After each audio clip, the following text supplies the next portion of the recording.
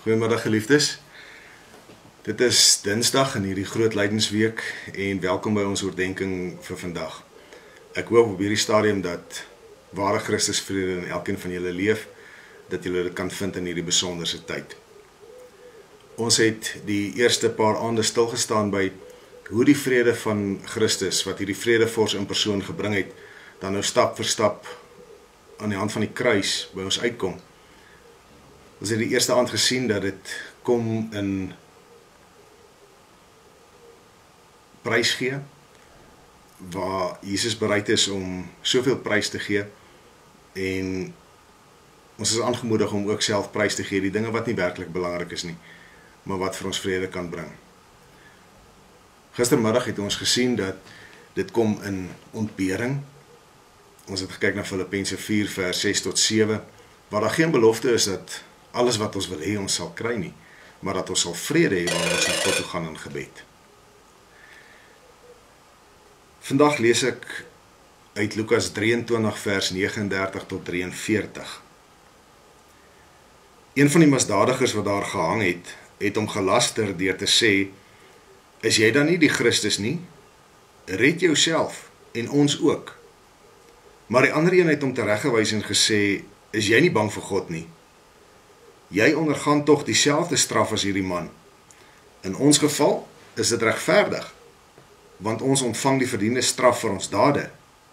Maar hierdie man het niks verkeerd gedoen nie. Verder sê hy: Jesus, dink aan my wanneer u in u koninkryk kom. En Jesus antwoord hom: Ek verseker jou, vandag sal jy saam met my in die paradys wees. Dit was amper te laat. amper te laat vir 'n misdadiger om nog steeds genade te ontvang. Maar by Jesus is dit nooit te laat nie. Mense sou dink in die trauma en die ongelooflike fisiese pyn wat Jesus deurgaan as hy daar aan die kruis hang, sou hy nie lus wees vir gesels nie. Sou hy nie ingestel wees op mense rondom hom se praatjies nie.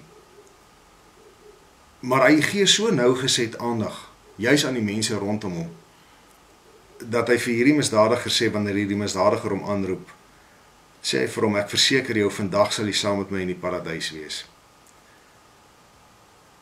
Dis asof Jesus tot op die uiteinde op die uitkyk is vir wie hy nog iets kan doen, vir wie hy nog vrede kan bring.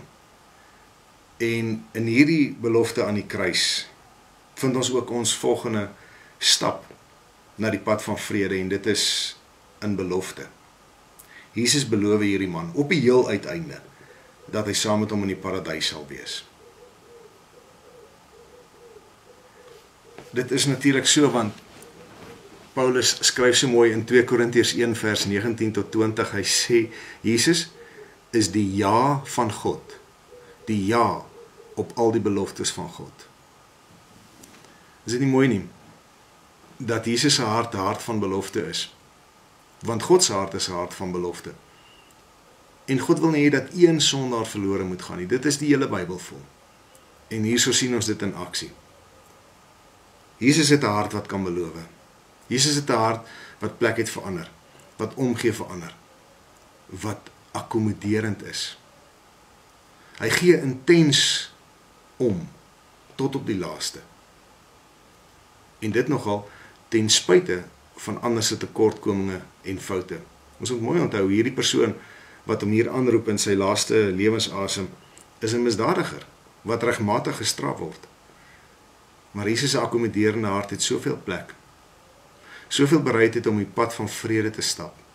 Tree van vrede te gee dat hy vir vir hierdie man nog 'n belofte maak op die uiteinde. So Jesus se beloftes kom uit uitnodigende hart.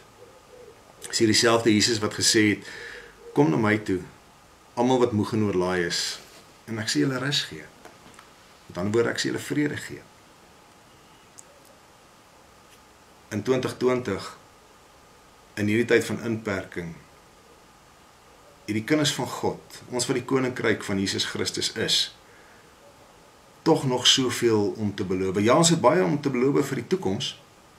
In 1 Korintiërs 15 vers 9 skryf dieselfde Paulus en wie ek nou nou gepraat het, hy sê as ons net vir hierdie lewe ons hoop op Christus vestig, is ons die bejammerenswaardigste van alle mense. Hoor mooi.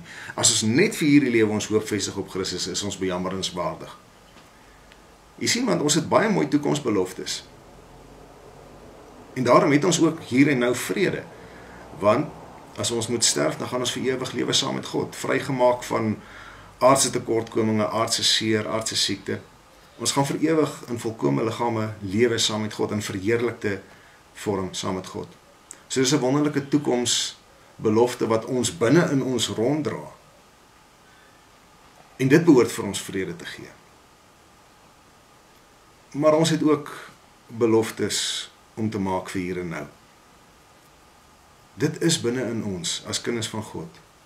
Om vir mense wat paniekerig is, wat bang is, wat vreesagtig is, veral in hierdie tyd, beloftes te maak.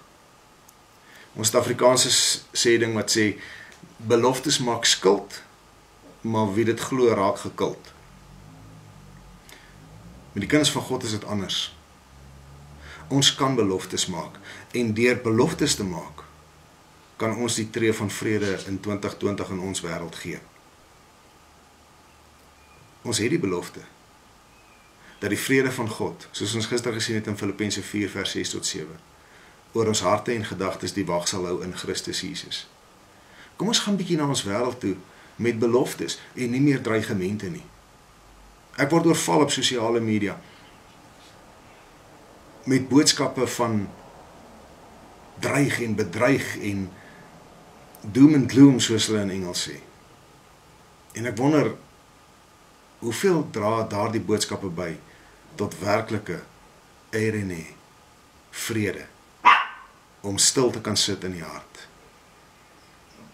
Ek glo dit is tyd dat ons soos Jesus moet begin beloof. Want ons het sulke wonderlike beloftes om te maak.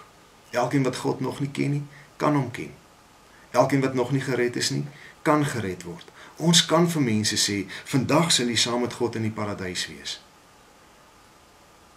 Dis die stap wat Jesus geneem het. 'n Stap nader aan die vrede wat hy bring as die vredevors.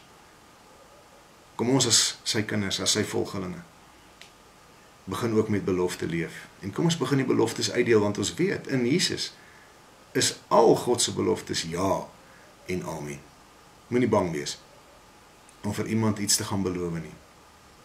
Maar ek beloof, maar ek bedoel hierdie dinge wat die lewe die moeite werd maak, wat vrede bring.